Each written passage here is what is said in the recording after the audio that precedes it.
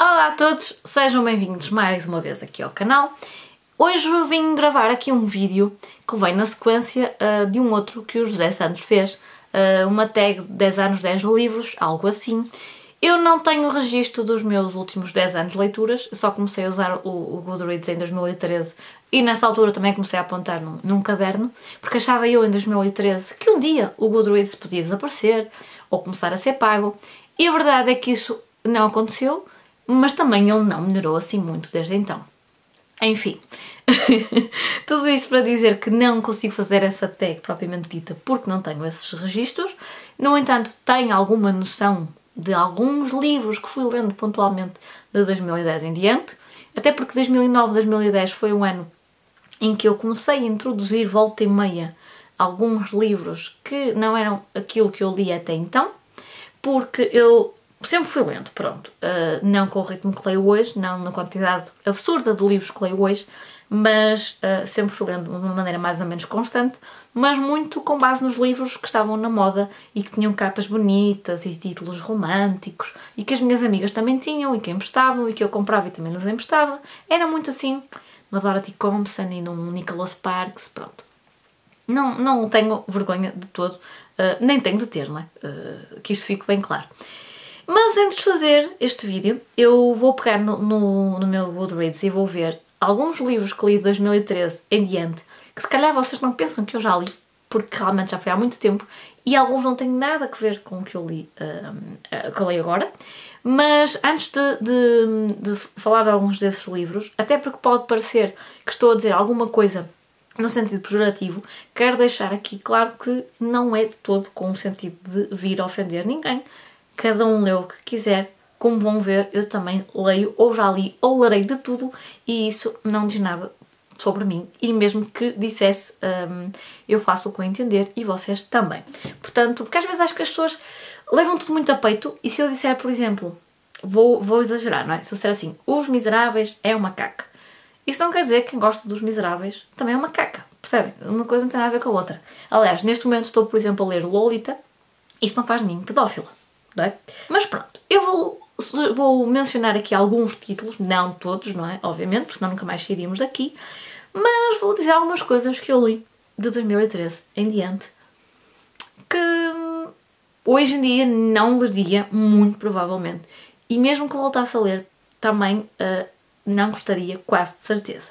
E alguns eu não releio precisamente para não mudar essa minha visão cor-de-rosa daqueles livros, daquela escrita, daquela história, daquele autor, muitas vezes, porque não há essa necessidade. Uh, enfim, em 2010, então, 2009 2010, como eu vos dizia, foi uma altura em que, por influência de um professor que eu tinha na universidade, que ainda hoje penso que é uh, presidente da Sociedade Portuguesa de Autores, uh, ele falava de vários escritores como o Hemingway, do, do sei lá, do Steinbeck, por aí fora, e eu tanto ouvir falar com tanta paixão, li algumas coisas dessas desde então, os 100 anos de solidão, uh, por aí fora, mas ainda foi ali uma fase de transição, não é? Eu li algumas coisas ditas mais fáceis, outras assim mais clássicas, mais autores não é, conceituados e tal, robustos, digamos assim, uh, e foi assim uma fase de transição. Os primeiros livros assim ditos mais sérios que eu li nessa altura levaram um bocadinho por tabela, porque o meu... É inevitável, o meu cérebro ainda não estava totalmente preparado para isso, Uh, mas pronto, é o que é e acho que todos vamos acabar por passar mais ou menos um, por essa fase.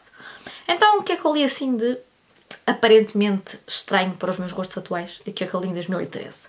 Tenho aqui, por exemplo, o Código da Vinci.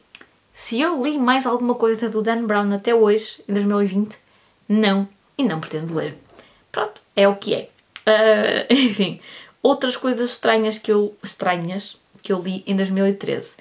O Pacto da Jodie Picoult, nunca sei dizer este nome. Se eu gostei, não. Já em 2013 eu não gostei e não tenciono ler esta senhora. Eu poderia dizer nunca mais. Autografou-te onde? Autografou-me aqui no braço, Will, que era o que eu mais queria. Não vais nunca mais levar esse braço? Não, nunca mais, nunca mais. Ele, isso vai ficar aqui a fazer. Bom, agora a correr. Isto uh, é muito definitivo, mas não sei. Eu, se calhar, um dia, com o passar da idade, volto a ler coisas mais uh, fluídas. Não digo que não. portanto, tudo é válido. Em 2013 eu ainda lia muito Pedro Paixão, que é uma versão muito melhor de coisas tipo Pedro Chagas Feitas e Raul Minhalma. Mesmo quando coloca algum erotismo, o Pedro Paixão faz isto num outro nível. Uh, que mais é que eu li assim de estranho, estranho, volto a pôr entre aspas, em 2013? Hum, acho que assim nada de muito extraordinário, não foi um ano em que eu li por aí além. Uh, li Orgulho e Preconceito, pronto, coisas assim, mas ok.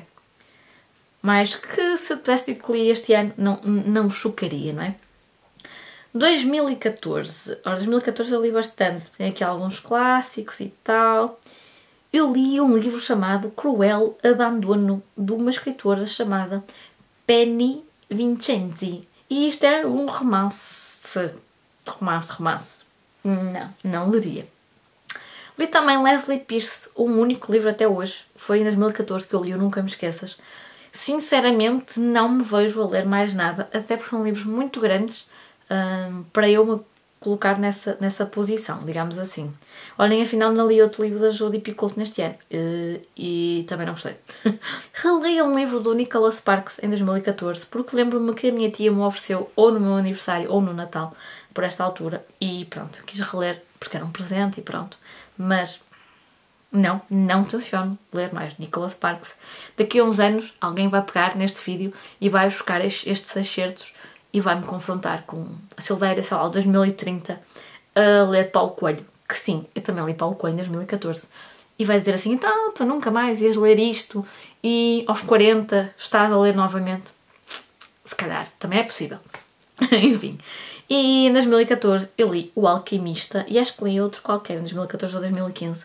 Foi numa altura em que eu comecei a ver, a seguir mais blogs e hum, acho que foi também em 2014 que eu descobri o Booktube e, portanto, eu comecei a ler aqui algumas coisas que eram moda, né? que eram muito faladas pelas pessoas que já tinham um canal, é normal, pelos gostos delas. Uh, fui influenciada, sobretudo nessa altura, e foi nessa altura que eu comecei a comprar livros. Já comprava bastantes, muito na base dos clássicos, mas que comecei a comprar realmente muito uh, mais. Portanto, eu li O Alquimista em 2014, uma estrela. Portanto, não estava tudo perdido em 2014. Pronto, uh, o Marley e eu, pronto, Ok. Reli o Harry Potter, todo em 2014. E li aqui, em 2014, 2015, alguns uh, livros para jovens adultos. Li, por exemplo, o Eleanor and Park, que lembro-me que realmente achei que era um, um, livro bom dentro do género. Não sei se a, a Sofia Kinsella pode ser considerado YA. Não, é um é chiclete, não é? Pronto, li, li um livro da Sofia Kinsella. É, aquilo, esse que era um, um instantinho, isso, isso é verdade. Depois li aquela trilogia que nunca sei a ordem dos livros: Divergente, Convergente, Insurgente. Nunca sei. Uh, acho que não acabei o terceiro livro porque alguém me contou o final. E eu já não estava a gostar do segundo, então desisti, não é? Li dois livros do John Green: A Culpa é das Estrelas e depois um outro que era do Natal ou não sei o quê. Uh, pronto, ok, razoáveis. Ou melhor, O Culpa é das Estrelas é, é mais razoável dentro do género. Triste, mas razoável, enfim.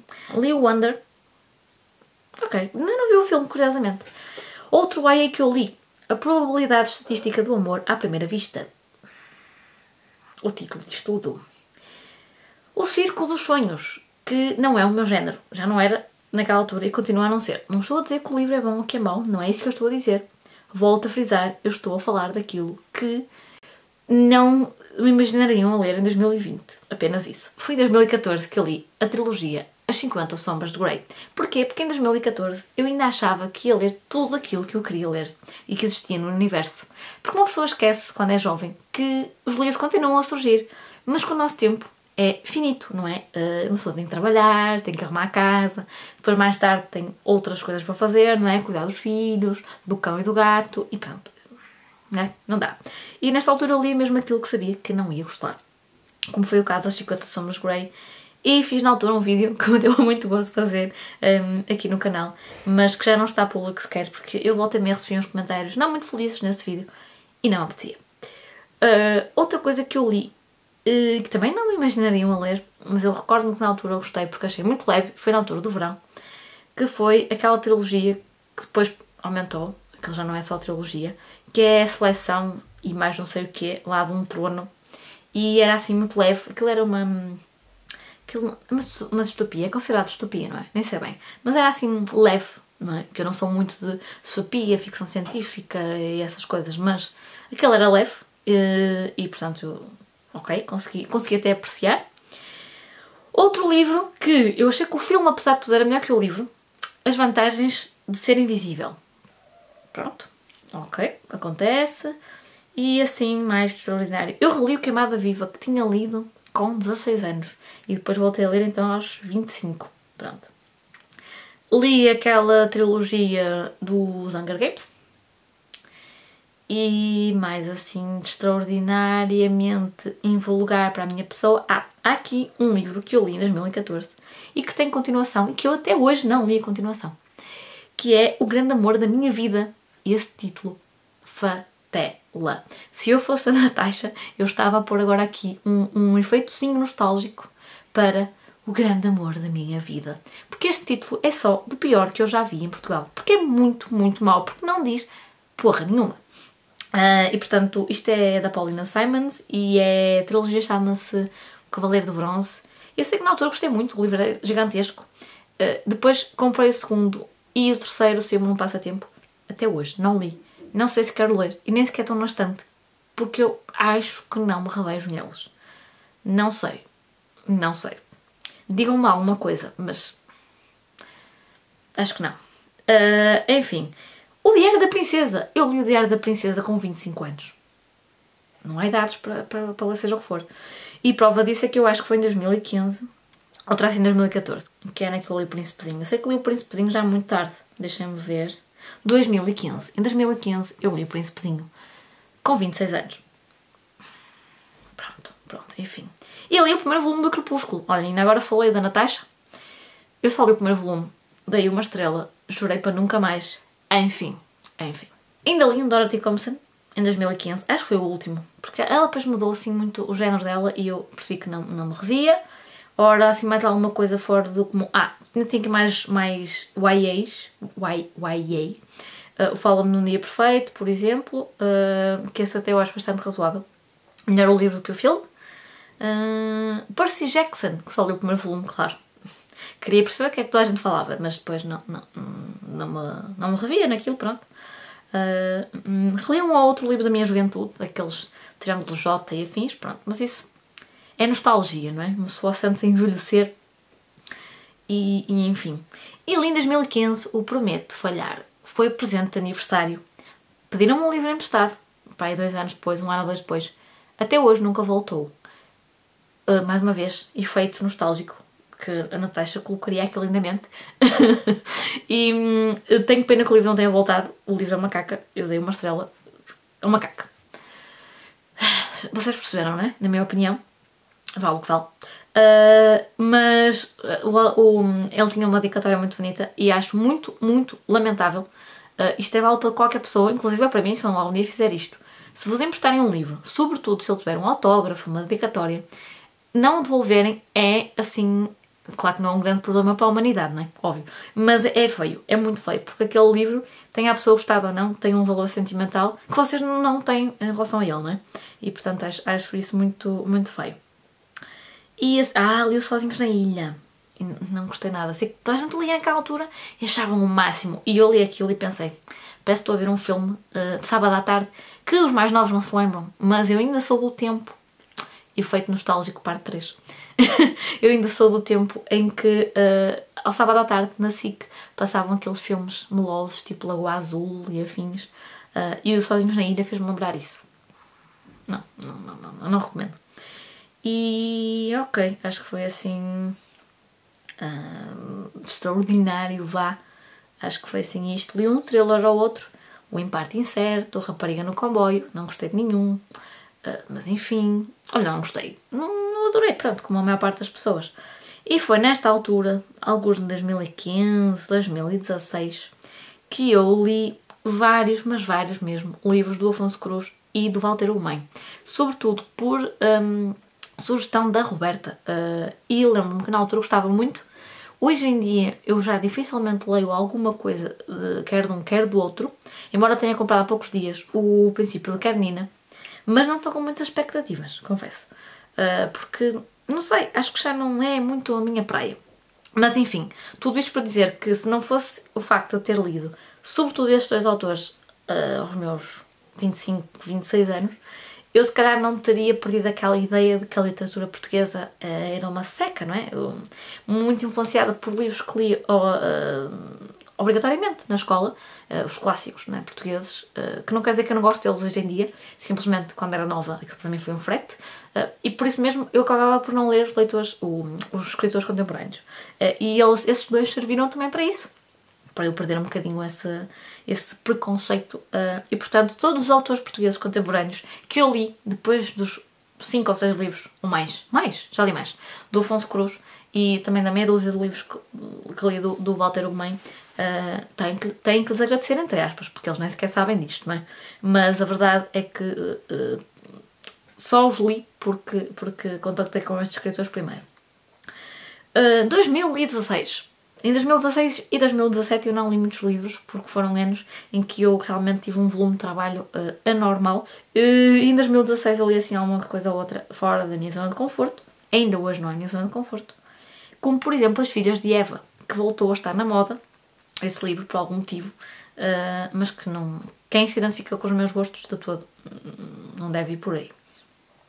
E assim, do pouco que eu li em 2016, eu acho que foi assim o, o único livro do que eu. Ah, do livro, um livro de Cláudio Ramos, em 2016. Uh, mas de resto eu acho que não houve assim nada que eu não fosse capaz de ler em 2020. Pronto. 2017. 2017, deixem cá ver. Uh, li o Sapatinhos de Chocolate. Uh, eu acho que é um chiclete, será? Uh, não quer dizer que eu não leio um de vez em quando. Pronto. Uh, simplesmente não é o frequente, vá. E tentei ler um. Tentei, não, li um livro da Inês Pedrosa. Lá está, uma pessoa compra livros, por exemplo, em 2010 e ficam anos e anos na estante, até que chega a 2017 e pensa assim: ah, isto não pode continuar aqui, vou ler este livro. E depois já não gosta. Pois, isto acontece. 2018. O que é que aqui a vossa amiga leu que vocês não estavam à espera? 11 minutos do Paulo Coelho. Foi uma releitura, na verdade. Se eu gostei, não, claro que não. Uh, enfim, eu tive aqui um vídeo no canal que uh, volta e meia me dava assim uns comentários não muito positivos de pessoas que por gostarem do Paulo Coelho se sentem ofendidas. Se calhar, eu já não me lembro bem do que disse nesse vídeo, eu depois acabei por colocá-lo uh, privado, mas é provável que eu tenha dito alguns, uh, ou dado a entender que quem lê isto ou aquilo é isto ou aquilo, mas se eu se calhar pensei isso algum dia, na minha juventude, não sei, mas não é algo que eu penso hoje em dia e, portanto, se algum dia dei a entender isso, ou, ou pareceu que eu estava a ser uh, mais infeliz nas minhas observações, não era todo com o objetivo de ofender ninguém. Em 2018, pronto, uh, contactei com outros autores, uh, alguns até por intermédio da biblioteca, que estavam na moda, mas que eu achei que não ia gostar muito, então não os comprei. alguns trouxe a biblioteca, como por exemplo Colin Huber, e não é o meu género. aqueles livros, por exemplo, do Se Eu Ficar e não sei o quê. O Eric Ebert, também não é, ainda bem que trouxe aquela biblioteca, ainda bem que não o comprei, felizmente. O Francisco Salgueiro, que até é capaz de ser, ok, recomendava mais expressa, um, e assim que uh, eu à partida não leria. Tem aqui um thriller ou outro, mas que pronto, não é eu, aliás, estou neste momento a ler um thriller, portanto, não é totalmente descabido. Há alturas em que eu realmente preciso de um thriller quase como limpa-palatos, depois de ler muitas coisas sobre guerras e sobre temas mais pesados, se bem que os thrillers têm assassinatos, não é? Mas vocês percebem o que eu quero dizer, não é? Uh, embora sejam realidades, mas não são factos históricos que uma pessoa consegue realmente visualizar quase. Um, enfim, li aqui alguns thrillers de Karen Slaughter e Robert Brindsda, nunca sei dizer isto, e foi em 2018, mesmo no finalzinho, que eu ganhei o vício da banda desenhada com o Persepolis. Portanto, em 2019 um, já, já li aqui coisas muito mais uh, na minha praia e que eu não sabia até então que eram a minha praia. Claro que ainda tem aqui alguma coisa ou outra que se calhar vocês não me imaginavam a, a, a ler. Não necessariamente maus, atenção, mas por exemplo, li o primeiro volume da trilogia de Senhor dos Anéis, não é a minha praia, mas é um bom livro. Uh, eu é que não quero continuar. Uh, e agora é o que eu digo: um dia vão pegar nestes excertos uh, e daqui a uns anos vão mostrar e, e eu vou engolir tudo o que estou a dizer agora, mas pronto, uh, enfim, e, e pronto, uh, foi um, um, ano assim muito, muito bom com Crime e Castigo, Os Miseráveis, O Conde Monte Cristo, uh, e portanto foi assim um ano em grande, e 2020 também está a ser, mas eu sei que não ando a contar muito do meu ano 2020, não é? Enfim, eu, eu, não prometo nada porque já sabem, a única coisa que eu prometo é que eu não gravo um vídeo quando não me apetece Portanto, eu não faço fretes aqui, isso é a única coisa que eu vos prometo. Eu posso não, não gravar frequentemente, mas uma coisa é certa, nunca me vão ver a fazer aqui um vídeo uh, sem me apetecer realmente uh, fazê-lo. Eu vejo-vos em breve então com um novo vídeo. Eu quero fazer um book haul só com os livros que comprei agora no, no, no tempo do período de, de emergência um, e contingência já. Uh, eu ando mexendo um bocadinho, mas quero-vos mostrar alguns livros que comprei e onde é que os comprei. Uh, mas estou só à espera que chegue um livro, que vai ser quase o ex-libris da minha estante, pelo menos no período atual, mas depois vocês vão ver. Estou só à espera que esse livro chegue para gravar esse vídeo, mas fica aqui prometido que esse vídeo acontecerá, não sei daqui quanto tempo, mas uma, duas semanas, não sei bem, uh, vai depender então do CTT. Eu vejo-vos então numa próxima, e até lá portem-se bem, boas leituras, e lembrem-se, a cada um lê aquilo que quer. Uh, e o importante, como diria Dora Silva, é mesmo ser feliz e estarmos bem com a nossa consciência, sobretudo. Portem-se bem e até uma próxima. Beijo!